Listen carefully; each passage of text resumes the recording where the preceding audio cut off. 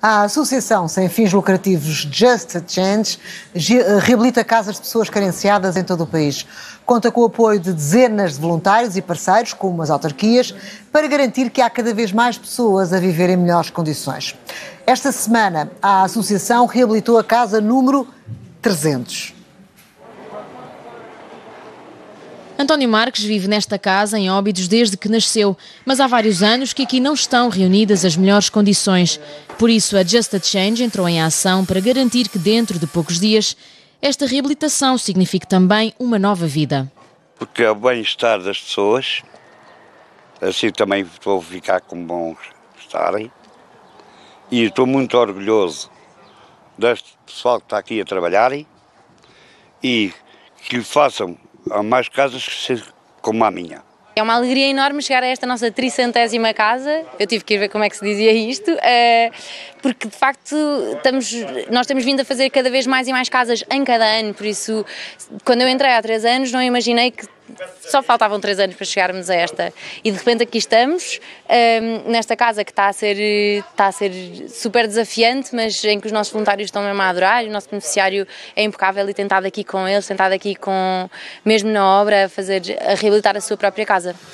A Just a Change é uma associação sem fins lucrativos que nasceu há mais de 10 anos Hoje, com a ajuda de dezenas de voluntários e parceiros sociais, reconstrói casas de pessoas carenciadas de norte a sul do país, como ponto de partida para uma vida com mais dignidade.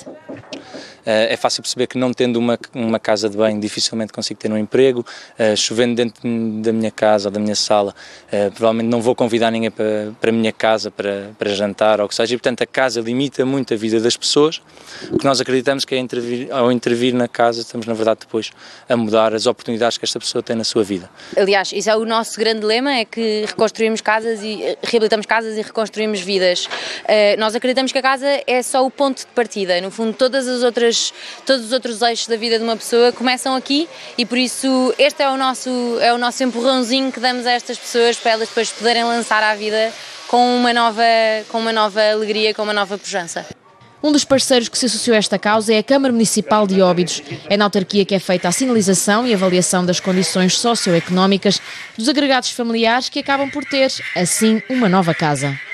Louvar estes jovens por esta iniciativa, por se desprestarem a, a, dar este apoio e este contributo à sociedade, acho que é, acho que é algo que deve ser enaltecido, eh, mas também replicado eh, por todos esses jovens pelo país fora eh, e aqui fazer, fazem eles naturalmente a diferença. O que estamos aqui a dar, para além do apoio monetário, é este conforto também dos nossos serviços de ação social, é, é esta identificação, esta priorização, ao fim e ao cabo, daquelas que são algumas necessidades, como existem de resto no país, mas também no nosso, no nosso Conselho.